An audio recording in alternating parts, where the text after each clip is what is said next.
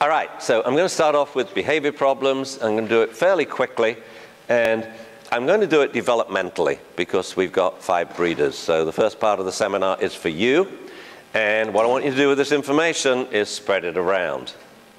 I think if you take lots of notes, and, and by the way, all of this stuff will be online soon. This is my third to last lecture, my anti-penultimate lecture in my penultimate lecture tour. And I'm home for all of August. I'll be writing like a fiend. Um, the number of blogs on Dogstar Daily will suddenly take off like a rocket. And I've started a new blog at SiriusPup.com, uh, which is a how-to blog. Just simple how-to questions. How can I train my dog to hold it? How can I train my dog to let me know he wants to go? Simple stuff like this. I mean, questions that I wouldn't even dream of asking. That's why we asked our readership at dogstardaily.com. And these are very, very common questions. So simple, a totally different how-to blog. On dogstardaily.com, it's more conceptual issues for dog professionals. And included there will be the revamp of our various puppy raising initiatives for the five dog professions.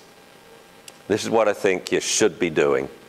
And we aren't going to solve this problem unless we do that. And the problem is, oh, shelters filled up with, you know, well, not, not here, but in the States, uh, 60% of the dogs are pits. Uh, largely inner city pits. That's a problem. It's got to be addressed on its own. And I have a great program I want to start there. Um, Kelly and I go to lots of prison dog programs where the prisoners get to live with so the dogs come into the maximum security prisons and live in the cells with the prisoners. The dogs come from the Humane Society and they're trained up to be assistance dogs. And these programs are amazing at pretty much um, tanking out recidivism. Once the prisoners have discovered dogs, they don't come back. Um, it's a one strike, you're out program. One thing wrong in the prison, you're out of the program. But just think about it. You're in prison for 10 years and you have the option of sharing your cell with the dog. It's pretty damn cool, isn't it? It produces a lot of caring, a lot of responsibility. And I was actually at a seminar in Indianapolis quite recently and great big man in the audience, enormous guy sitting there. And he stands up and sort of, I say, hi, you know, and he says, uh, do you remember me, Dr. Dunbar? I said, I've heard your voice before. I said, I don't recognize you. He says, well, last time you saw me, I was inside. And my friend, a trainer in Indianapolis, hired two of them.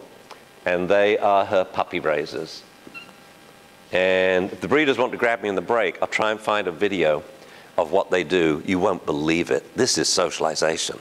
It's unbelievable the stuff they do with these puppies neonatally, prior to eight weeks of age.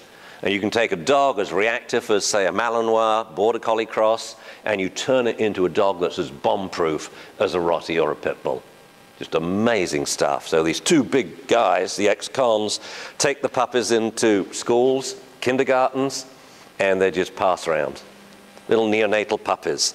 Pick them up, put them down, pick them up, put them down, pick them up, put them down. Touch the ear, ear, ear, ear, ear, ear, ear, ear, ear, ear, and then filled with his muddle. Teeth, teeth, teeth, teeth. Paw, paw, paw, paw, paw, paw, paw, paw. Fiddle with the ghoulies. Ha ha ha. Give them a hug. Look in their eyes. Oh, they aren't open yet. Pass them to the left. and the dogs get handled by about 20 children in one session. This is what socialization is.